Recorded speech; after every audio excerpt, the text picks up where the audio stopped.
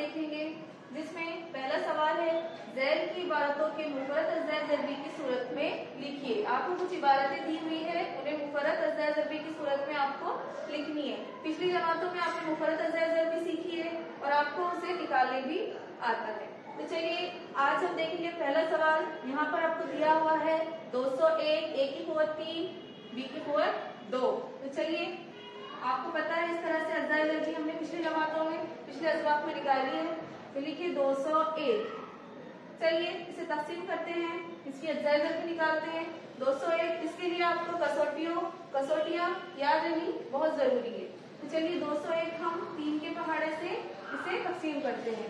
तीन छके अठारह, बीस में से अठारह जाने के बाद दो बचे, तीन सत्ते, इक्कीस। अब, यहाँ पर 67 ये उसी के टेबल में आता है। 67 इकन 67 यानी सैसठ इकन सैसठ। तो चलिए हम इसकी अजायजा भी लिखते हैं। तीन जर्ब सैसठ। यहाँ पर ए चलिए, यहाँ पर भी आपको ये रुकन ए कितनी बार दिया हुआ है? तीन बार। तो हमें उसको तीन बार जर्ब की शक्ल में लिखना है। आपने फोर्थ में पढ़ा है। तीन बार जर्ब की सूरत में लिखा है। उसके बाद बी कितनी बार दिया हुआ है? दो बार। तो चलिए उसको दो बार लिख देते हैं। तो आपका जवाब इस तरह से इसकी हमने मुफरत अज्जा जरबी की सूरत में, इस इबारत को मुफरत अज्जा जरबी की सूरत में लिखा है।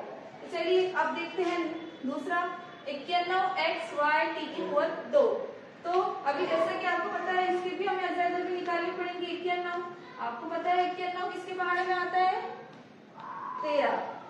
वेरी गुड तेरह, सत्य इक्यानवे फिर सात के पहाड़े में सात ही आता है, कोई दूसरे पहाड़े में सात नहीं आता, इसीलिए सात एक कर सात। तो चलिए, इसकी अजाय करती है इक्यानवे एक्स वाई टी की दो की अजाय क्या है?